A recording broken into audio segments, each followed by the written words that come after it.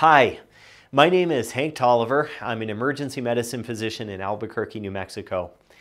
In this video series, I am going to try to go in depth into what is COVID-19, uh, how to protect yourself, how to protect your family from this illness, uh, what to do if you yourself uh, get COVID-19, and how to minimize spread of this disease.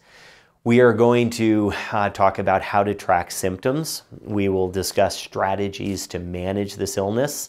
Uh, lastly, we will discuss when uh, someone might need to go to the hospital, uh, as well as precautions to take when transporting someone who may have COVID 19 to the hospital.